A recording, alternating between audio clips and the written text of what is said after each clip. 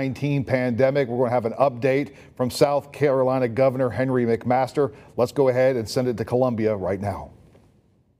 Restaurant is closed. There is a malnourished person praying for something to eat. For everyone discouraged that they have to watch their religious service online, there's a person praying for the opportunity to freely worship. For everyone frazzled about having their children do schooling via the internet, there's a person praying for the, choice, the chance to learn how to read. God, we are abundantly blessed by you, and for that we give you thanks and help us to remember that in all things. Amen. Thank you.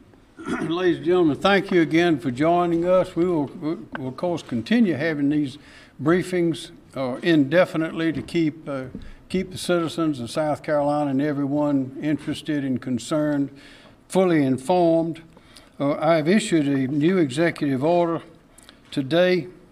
One closes non essential businesses in our state. We issued one last week that did that on some non essential businesses, and now we've issued another to expand that. And this includes, this is starting Monday at 5 p.m., furniture stores, jewelry stores, department stores, clothing stores, shoe stores, clothing and shoe accessory stores, florists, florists, sporting goods stores, book, craft, and music stores, luggage and leather goods stores, and home furnishing stores. Such things as hardware stores, these are not included. Hardware stores, firearm re- retailers, and home improvement stores are not included in this order, and all that will be made clear in the written order when it will be issued. But again, that will go into effect Monday evening at 5 o'clock p.m. Also, I have issued another order that goes into effect right now, and that is about short term rentals in our state. I'm hereby suspending short term rentals to persons from CDC, that's the Centers for Disease Control, identified places, hotspots, states, uh, from coming into the state uh, beginning right now, rentals starting right now, no new rentals of those places starting right now indefinitely. And that includes hotels, short term rentals, motels, vacation homes, condominiums, resorts, bed and breakfast uh, companies, timeshare companies, but this specifically excludes people from any place that are military, medical, first responders, or commercial transport people. So those are the two executive orders. Those are new.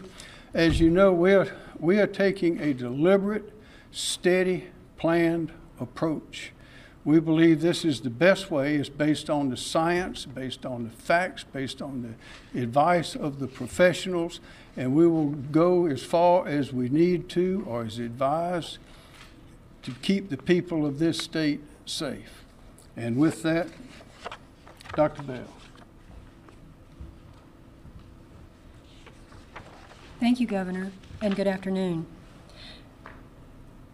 We have now received reports of documented cases of COVID 19 in every county across our state.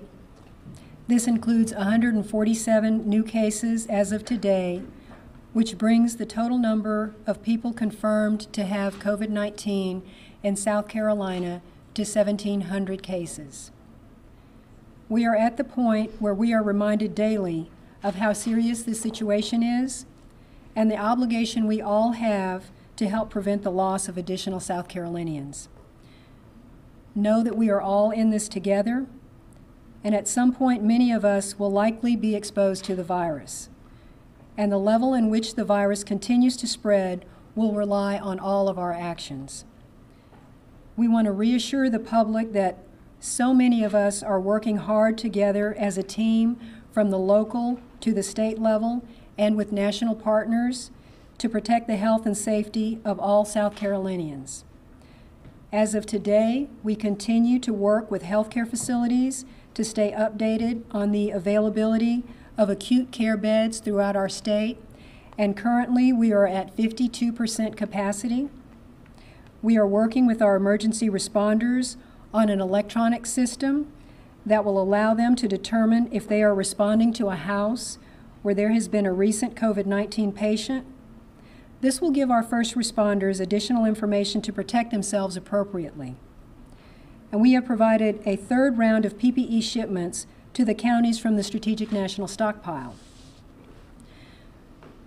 We know that this is a challenging time, and what we're calling on everyone to do is not easy.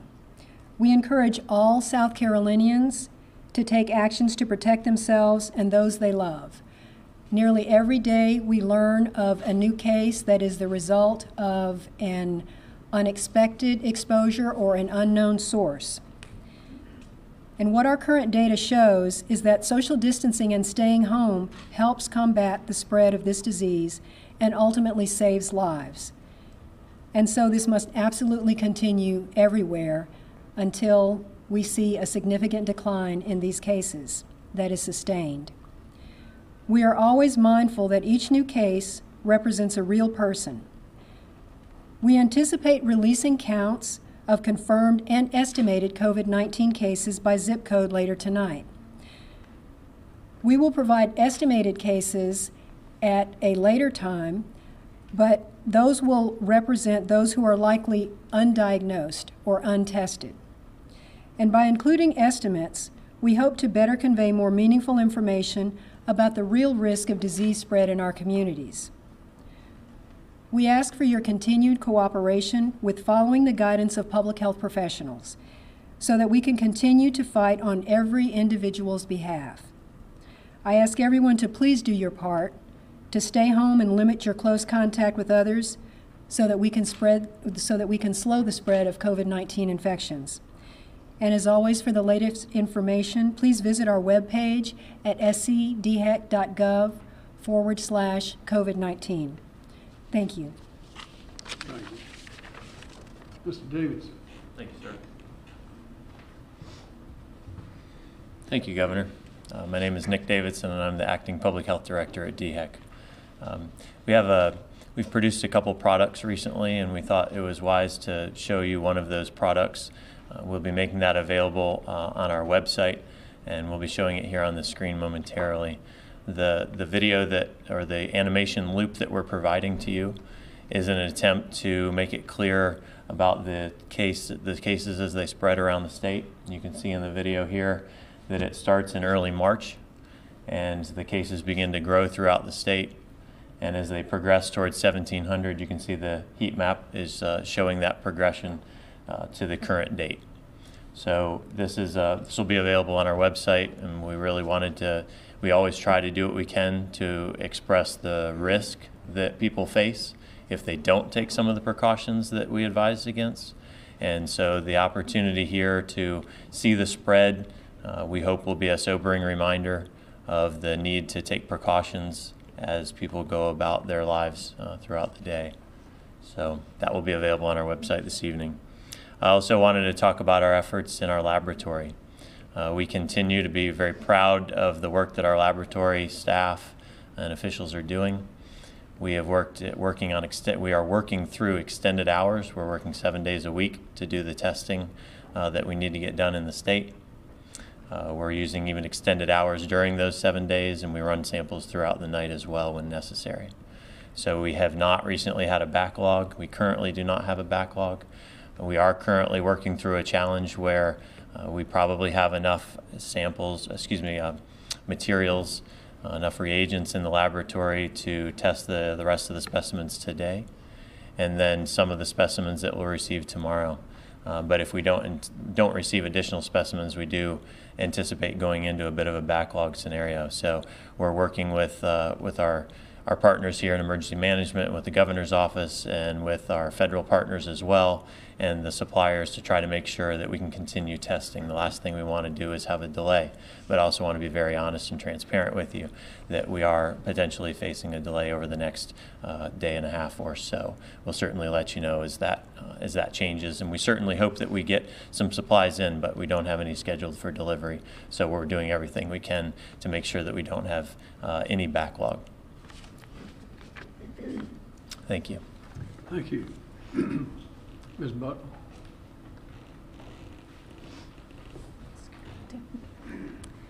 Hello, my name is Jennifer Butler. I'm with the South Carolina Department of Mental Health. And as we've been talking about making sure we're caring for our physical health, we wanted to make sure that we drew attention to paying attention and care to our mental health.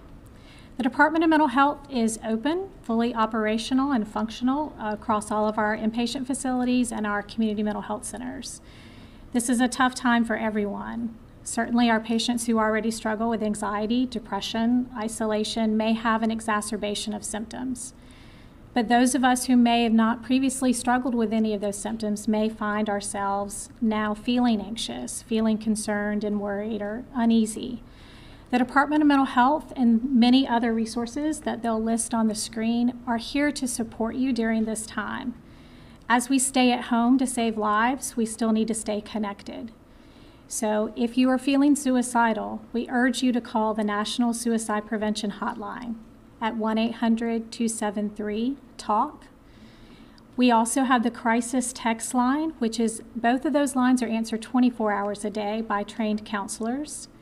You text the word home, H O M E, to 741 741. The Department of Mental Health also provides South Carolina with a unique opportunity to respond to the mental health concerns during this time because of our statewide system. We have clinics in all 46 counties of our state. We are also able to roll out a community crisis response and intervention team, essentially a mobile crisis that is available 24 hours a day, seven days a week. The number you see here for the 1833 DMH CCRI that is for that crisis mobile number. Call that if you need to reach out. Regardless of whether or not you're a patient, any South Carolinian will be served. We also have resources and information about our clinics at scdmh.net.